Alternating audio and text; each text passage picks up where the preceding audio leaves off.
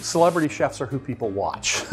That's who's on television. So we know that people tend to do things they see other people who are experts do.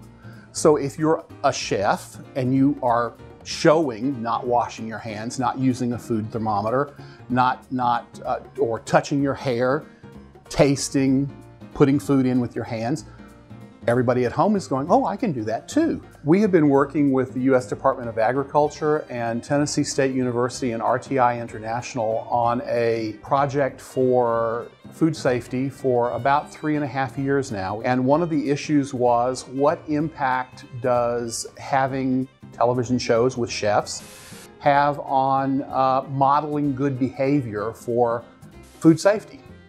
We, we actually watched television. Um, we watched over 100 shows. The, the three big things that we saw across the board were chefs typically didn't wash their hands, or at least they didn't show washing their hands or didn't mention washing their hands, which is something we always want people to do. The other things that we saw, they, they didn't change cutting boards out, so they used the same cutting board to prepare meat and also vegetables that weren't going to be cooked later, or fresh salads or whatever. Um, they didn't use food thermometers. So they said, oh, just cook your meat until it's until you think it's done, or until it's pink, or until uh, it's you know, until the juices run clear, or until you can touch it and do this. Those are all inaccurate ways of measuring whether or not meat is actually cooked to a safe temperature. Using a food thermometer is the only real way to check that. 23% of chefs licked their fingers. 23%, that's terrible. A number of people touched their hair or touched other parts of their dirty clothing or things, and then touched food again. A number of people ate during the, the process.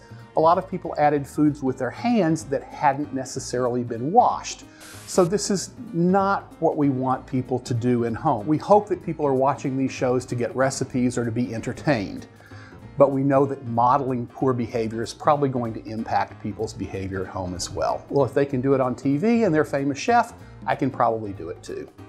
I think that celebrity chefs have a responsibility for entertaining us. They also have a responsibility for giving us good food. And good is not just taste good, it's also safe food.